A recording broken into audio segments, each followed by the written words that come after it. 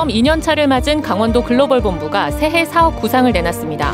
우세 케이블카 설치를 포함한 영동 지역 맞춤형 정책에 역점을 둘 예정입니다. 동계 청소년 올림픽 개막이 나흘 앞으로 다가오면서 안전 대책이 강화됐습니다. 강릉과 정선 선수촌에서는 선수단 입촌도 시작됐습니다. 강릉의 한 캠핑장에서 일가족 5명이 일산화탄소 중독 증세를 보여 병원으로 옮겨졌는데 생명에는 지장이 없는 것으로 알려졌습니다. 정부가 30년 넘은 아파트의 재건축 규정을 완화하겠다고 밝히면서 기대와 우려가 교차하고 있습니다. 도내 아파트 15%가 해당되는 것으로 추산됩니다. 안녕하십니까. 뉴스데스크 강원입니다. 강원도 글로벌 본부가 2024년 예산과 주요 사업 설명회를 열었습니다. 올해 폐광지 살리기, 설악산 우세 케이블카, 그리고 어촌과 바다 살리기라는 3대 역점 사업을 중점 추진합니다. 김인성 기자가 보도합니다. 강원도 글로벌 본부의 올해 예산은 5,800억 원대, 8조 6천억 원이 넘는 강원도 전체 예산 대비 6.8%를 차지합니다. 재정 효율화 기조로 인해서 2023년도에 비해서 다소 축소 편성이 됐습니다. 경상 경비는 최소화돼 도민들의 이익과 직결되는 사업들에 대해서는 차질 없이 추진될 수 있도록 미래산업국은 3,275억 원을 들여 메타버스 인프라 구축과 폐광지 살리기 사업을 핵심 사업으로 추진합니다. 메타버스 허브 구축을 위해 녹색도시 체험센터 이젠의 메타버스 체험관을, 강릉 과학산업진흥원의 메타버스 버추얼 스튜디오를 마련합니다. 오는 6월 태백 장성광업소, 내년 6월 삼척 도계광업소가 잇따라 폐광하면서 폐광지 경제 살리기 사업도 중점 추진합니다.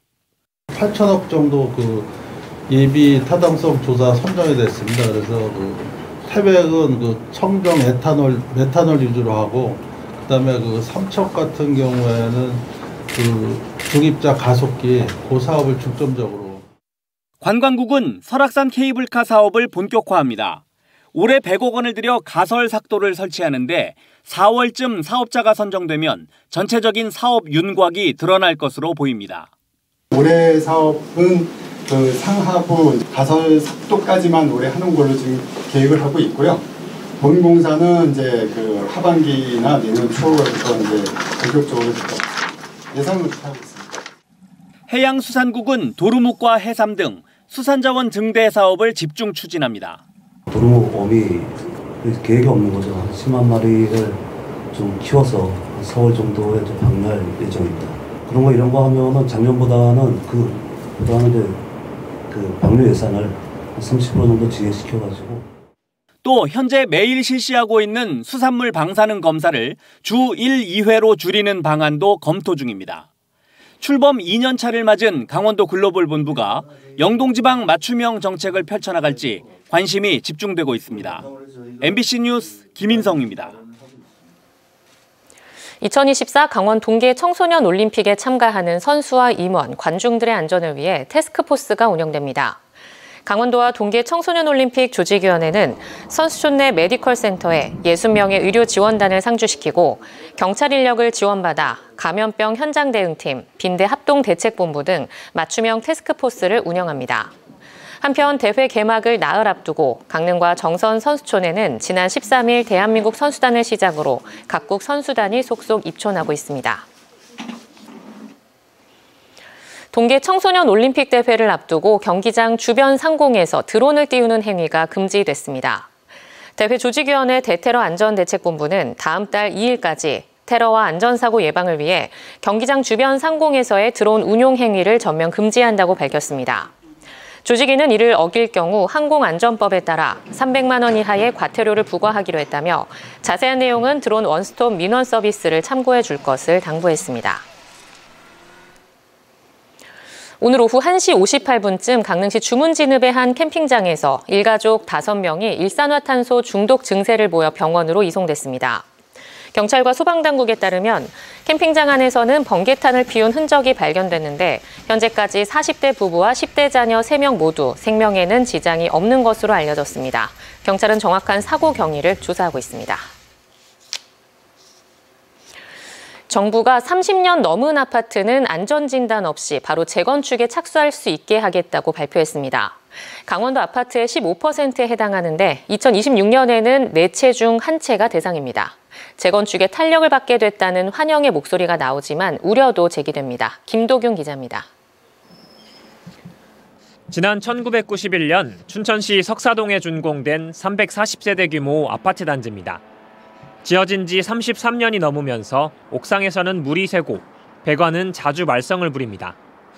이처럼 노후화가 심각해지자 재건축을 위해 지난 4일 춘천시에 안전진단을 의뢰했습니다.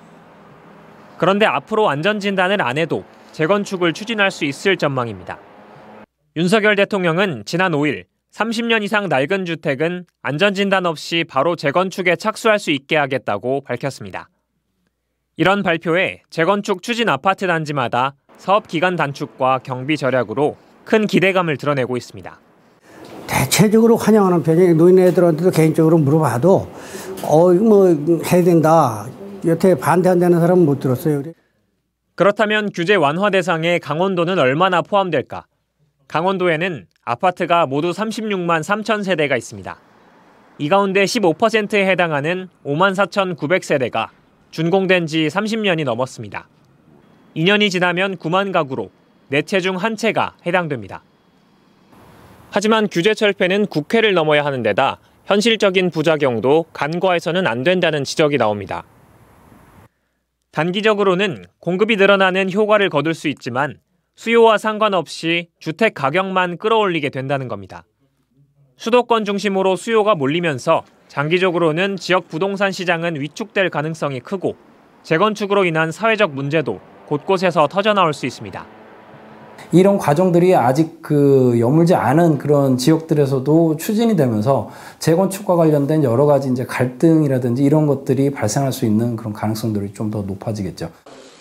정부는 다음 달 관련 법안 제출을 예고했습니다. 하지만 법률 개정을 위해서 반드시 필요한 야당과의 협조는 아직 없어 4월 총선용 정책이 아니냐는 비판도 나오고 있습니다. MBC 뉴스 김도균입니다. 강원도에는 거리가 멀고 거동이 불편해 병원에 쉽게 갈 수 없는 어르신들이 많습니다. 의료 취약지에 거주하는 주민들을 위해 마을 보건진료소에서 의사와 환자를 화상으로 연결해주는 원격 협진 서비스가 호응을 얻고 있습니다. 올해부터는 소규모 병의원까지 원격 협진 기관이 확대됩니다. 이송미 기자입니다. 고혈압과 이석증을 앓고 있는 박경희 할머니. 한 달에 한 번 화상통화로 의사를 만납니다. 약은 잘 챙겨 드셨어요? 예. 어디 불편하신 데는 다 없으시고요? 네. 보건 진료소에서는 만날 수 없는 공중 보건의와 화상으로 상담하는 겁니다. 환자 곁에는 간호사가 있어 환자 상태를 확인하고 처방 이력 등을 의사에게 전달하는 원격 협진입니다. 오늘 혈압 재셨는데 131에 78 나오셨어요. 강원도에서 1시간 반 안에 종합병원에 도착할 수 있는 확률은 54%. 의사를 쉽게 만날 수 없는 농어촌 지역의 만성 질환자들은 원격 협진이 반가울 수밖에 없습니다. 두 달에 한 번 이비인후과 병원은 이제 뭐 시장 보고 그러러는 가지만 지난해 강원도의 원격 협진 이용 건수는 4만 3천 건을 기록했습니다. 5년 전에 비해 17%가량 늘었습니다. 특히 65세 이상 어르신, 당뇨나 고혈압 등 만성 질환자들의 이용률이 높습니다. 자주 방문하시는 진료소에서 관리를 받으시면 네, 좋으신 점은 있는 것 같아요. 지금은 농어촌 보건진료소와 보건소가 주로 원격 협진을 시행하고 있습니다. 그런데 올해부터는 지역의 소규모 민간 병의원으로까지 협진 기관이 확대됩니다. 의료 취약지 인프라 불균형을 극복하기 위한 대안 중 하나입니다. 올해부터는 이제 개인 민간 중심으로 어, 더 확대하겠다. 강원도는 아직까지 참여율이 낮은 민간 1차 진료기관의 협진 참여를 독려해 취약지의 의료 서비스를 강화할 방침입니다. MBC 뉴스 이송미입니다. 강원도가 이달부터 육아 기본수당 지급 대상을 4세에서 5세로 확대합니다. 3만 6천 명의 아동 가운데 1세에서 3세는 월 50만 원, 4세에서 5세에게는 월 30만 원을 지급합니다. 0에서 11개월 아동은 아동 수당과 부모 급여를 합쳐 110만 원, 1세는 육아 기본 수당과 아동 수당, 부모 급여를 합쳐 110만 원, 보육시설을 이용하지 않는 2, 3세와 4, 5세는 가정 양육수당 10만 원을 합쳐 각각 70만 원과 50만 원을 지급받게 됩니다. 춘천지방검찰청과 강원경찰청, 강원도 선거관리위원회가 제22대 국회의원 선거에 대비해 오늘 대책회의를 열었습니다. 이 자리에서는 선거 관련 폭력행위와 금품수수, 허위사실 유포와 흑색선전, 공무원의 선거 개입 등 중점 단속 대상 범죄에 대한 대책을 논의했습니다. 또 춘천지방검찰청은 총선 관련 범죄의 공소시효가 끝나는 10월 10일까지 비상근무 체제를 유지한다고 밝혔습니다. 강원도 교육청이 2024학년도 초등학교 1학년 예비 소집에서 소재가 파악되지 않은 아동 한 명에 대해 경찰 수사가 진행되고 있다고 밝혔습니다. 올해 예비 소집에서 소재 미확인 아동은 모두 14명이었는데 12명은 해외 거주를 확인했고 1명은 소재가 파악돼 학교 입학 등록을 마쳤습니다. 또 교육청은 수사가 시작된 아동 1명은 경찰과 지자체 등과 협조해 소재를 파악할 예정입니다. 올해로 59회를 맞는 강원도민 체육대회가 양양에서 개최됩니다. 양양구는 강원도 체육회 이사회 의결에 따라 올해 도민 체육대회가 5월 31일부터 닷새간 양양에서 개최된다고 밝혔습니다. 올해 대회에는 사이클을 비롯한 모두 41개 종목에 선수단과 응원단 등 12,000여 명이 참여할 것으로 예상되고 있습니다. 지난 시즌에 가까스로 1부 리그에 잔류한 강원FC가 3월 2일 제주 유나이티드와의 홈 경기로 2024 시즌을 시작합니다. 한국 프로축구연맹은 강원FC가 오는 6월 15일까지 춘천 송암 스포츠타운에서 경기를 치르고 이후 홈 경기는 강릉에서 개최할 예정이라고 발표했습니다. 한편 지난 시즌 강원은 정규 경기를 6승 16무 16패로 마친 뒤 김포FC와 승강전을 치러 1부 리그에 잔류했습니다. 겨울 한파에 대비한 한파 쉼터가 강원도에 1,164곳 운영되고 있습니다.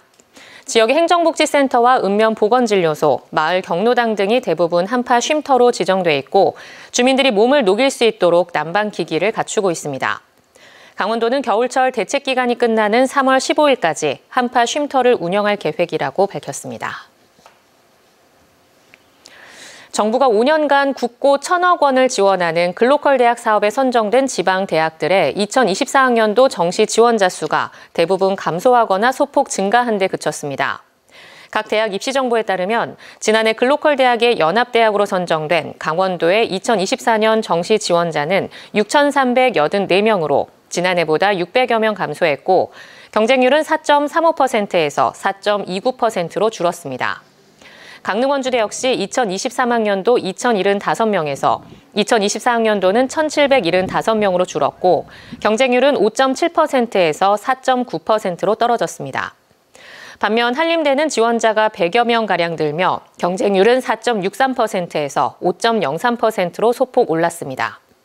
전국 글로컬 대학에 선정된 12개 대학 가운데 지원자가 늘어난 대학은 부산대와 전북대 등 6개 대학입니다. 강원도 감사위원회가 오늘부터 2주 동안 강원도 교육청에 대한 본감사를 벌입니다. 감사위원회는 도교육청의 전자칠판 구매와 민간단체 보조금 지급 과정에 문제가 있었는지 등을 집중 점검할 예정입니다.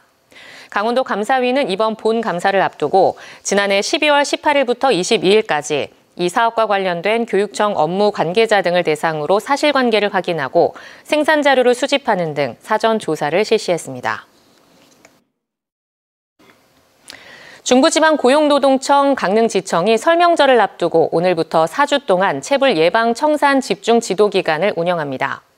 특히 부동산 경기 부진과 원자재 가격 상승에 따른 공사비 증가, 금리 인상의 여파로 건설업을 중심으로 임금 체불이 증가함에 따라 건설업 등 취약업종에 대한 선제적 체불 예방 활동을 전개합니다. 또 간이 대지급금을 신속히 받을 수 있는 처리 기간을 2주에서 일주일로 일시적으로 단축하고 체불 근로자 생계비 융자와 체불 청산 지원 사업주 융자 금리도 한시적으로 인하합니다. 지난해 아파트 청약자의 5%가 강원도를 택한 것으로 조사됐습니다. 부동산 포털 직방에 따르면 지난해 청약 통장을 사용한 총 청약 건수는 112만 8천여 건으로 나타났습니다. 강원 뉴스 마칩니다. 시청해주신 여러분 고맙습니다.